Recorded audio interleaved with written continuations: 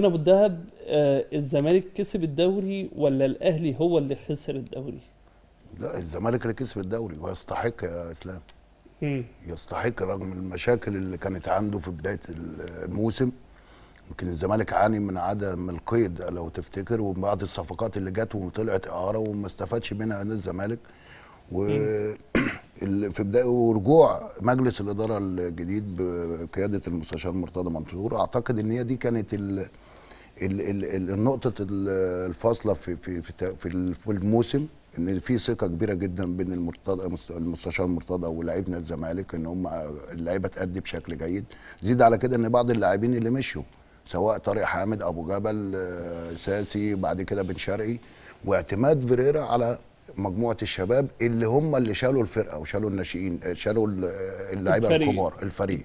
وأدوا بشكل جيد. يعني يمكن أنا مره عجبني كلام. أنا كنت نفسي أسأله سؤال. يمكن هل أنت كنت متوقع إن أنت تلعب ولا أنت كنت بتتمرن وحاطط هدف إن أنت هتلعب؟ فالراجل واضح إن هو كان عنده ثقة إنه هيلعب ولعب وأدى.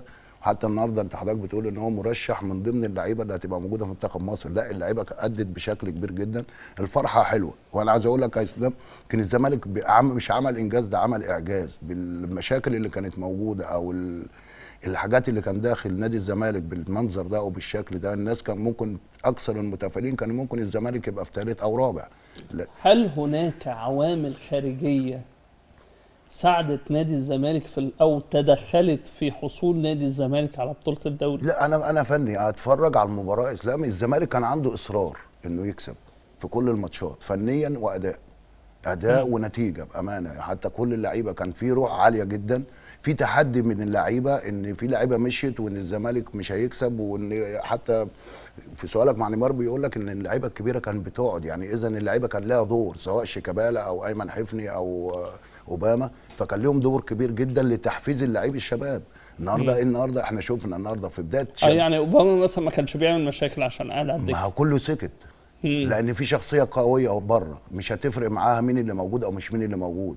هو ده اللي إحنا شفناه في هل موضوع النادي. الأهلي كان بيفتقد للشخصية القوية اللي تدير فريق ال... تدير فريق الكرة من الناحية الفنية. آه، في المباريات؟ لا مش يفتقد لل... لل... للحتة دي أو الشخصية إسلام. لا أنا سواء موسيماني أو سوارش لا موسيماني يمكن ما تعرض لضغط كبير جدا من بعض المحللين أو الإعلام وهو ما حسش بده. هو فاكر ان حتى يمكن هو طلع في تصريح وقال لك أنا متعرض إن أنا أكسب كل مباراة. آه أنت ماسك فرقة كبيرة فمتعرض للضغط متعرض إن أنت تكسب بطولة.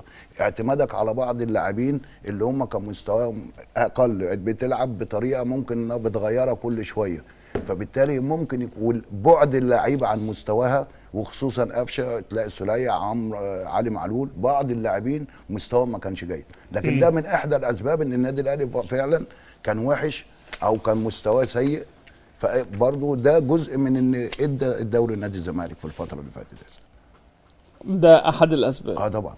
من إحدى الأسباب اللي موجودة. لكن تتكلم على الزمالك لا يستحق لأن اللعيبة كان بتلعب أداء ونتيجة. وشفنا تألق اللعيبة كتير جدا في الزمالك.